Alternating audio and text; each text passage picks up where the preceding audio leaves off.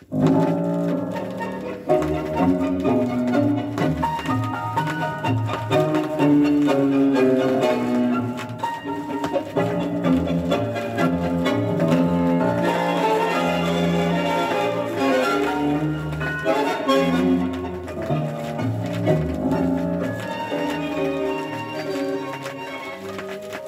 Señoras y señores, la vida es de acuerdo como ustedes se les dé la gana de llevarla. Pero, por ejemplo, ¿qué me dicen de los platillos voladores o que los hippies no se bañan? ¿Y qué les parece la ley que acaban de aprobar en Inglaterra sobre los homosexuales?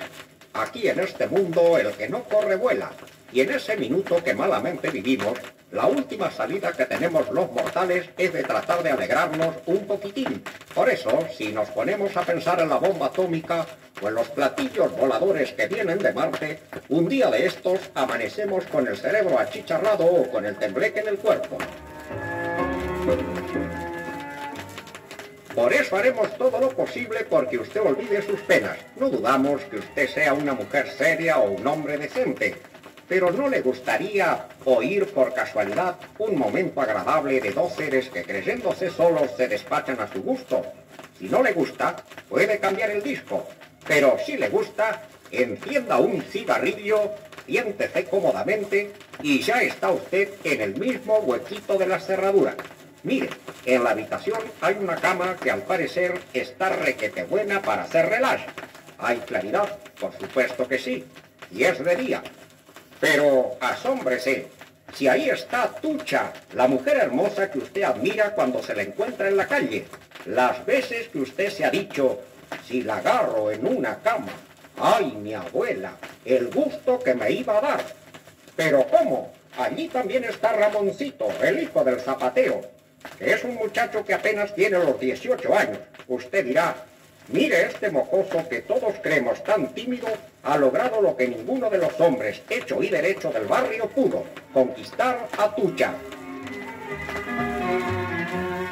Yo sé que usted tiene deseos de saber lo que está pasando dentro de esa habitación. Escuchemos la conversación de estos dos seres que pronto pasarán al limbo del placer.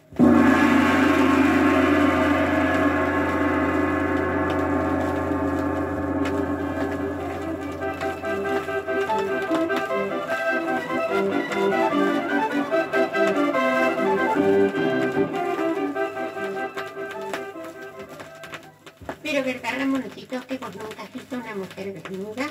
De verdad, yo tampoco voy a desnudarme por nada del mundo. Pero mi vida, mi amor, ¿por qué? ¿Acaso yo no te gusto? Mira, para darte ánimo. No, tuya, no me desnudes, tuya. Mi marchito divino, si no quieres que te rompa la ropa, sácate la voz y pronto. ¿No ves cómo me desespero? Y después usted me deja ir para mi casa. Ay, me tienes caliente, por favor. Quítate la ropa y después te podés ir para tu casa o para donde vos quieras, pero desnudate ya. Despacito, no seas tan desesperada. Mire, un botón. ¿Qué botón ni ocho cuartos? No ves que estoy enloquecida por verte desnudo. Así, así, mostrándome todo. Ay, qué peluditos son. No te pongo mi ropa, tuya. Ay, ay, mi amor, qué larga la tenés. Jamás en mi vida pensé que pudieras tener eso tan grande. La voy a poner aquí en esta silla tuya. Ay, deja la ropa de una vez. Vení, papito, vení para la cama conmigo. No me mires la cara, mírame desnudita como Ya verás el elevado que te pone. Tucha, tucha, usted quiere que la mire así. Ay, ay, tucha, ay, corazón me quiere salir del pecho. Ay, papito lindo, y te estás poniendo colorado. Yo creo que hasta tenés fiebre. Ay, ay, pero yo te la voy a quitar. Vení, déjame besarte. Ay, pero que usted me muerde, tucha. Déjame apretarte así. Ay, qué durito lo tenés. Ahora déjame besarte. Ay, mi madre, ¿qué es lo que me está pasando, Dios mío?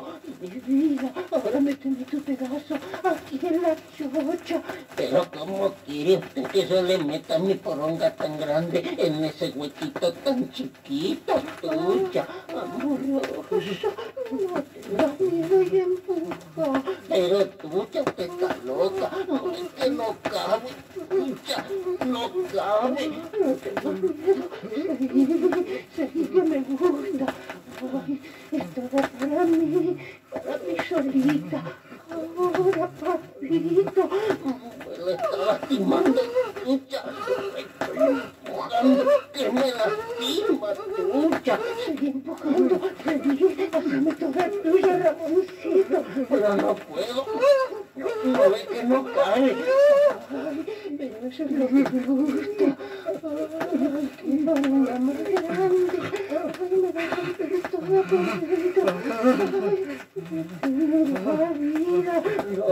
no, aquí le van a romper la poronguita es a mí. Quiero sentirla que me rompa las entrañas y con ese dolor sabroso